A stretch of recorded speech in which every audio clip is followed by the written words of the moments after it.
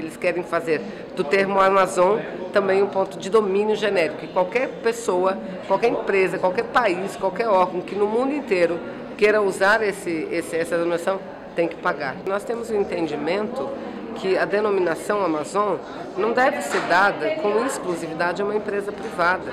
Essa denominação é de uma região, é de uma região, não pertence sequer a um país, ela pertence a oito países, a povos que vivem nesses países de longa tradição. Nós estamos aqui falando Amazon, mas esse é o termo em inglês, ela está pedindo em todas as línguas. E no português é Amazônia. É, no espanhol se escreve Amazônia, se fala Amazonia, não é? Então é contra isso que nós estamos mobilizando. Vamos mobilizar o parlamento, mas contribuir também para a própria mobilização popular.